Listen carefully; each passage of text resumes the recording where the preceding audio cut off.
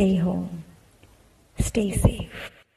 This is the call of the day, which Kathleen O'Meara, way back in 1869, gave to the world.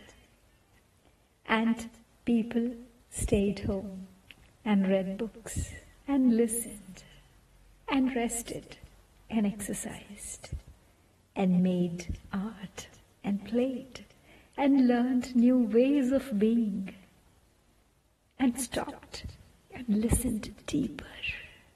Someone meditated, someone prayed, someone danced, someone met their shadow. And people began to think differently. And people healed. And in the absence of people who lived in ignorant ways, dangerous, meaningless, and heartless, even the earth began to heal.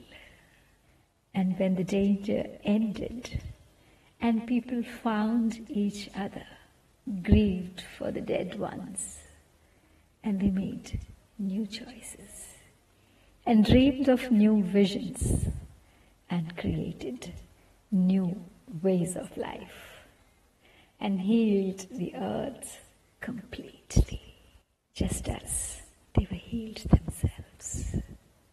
Let's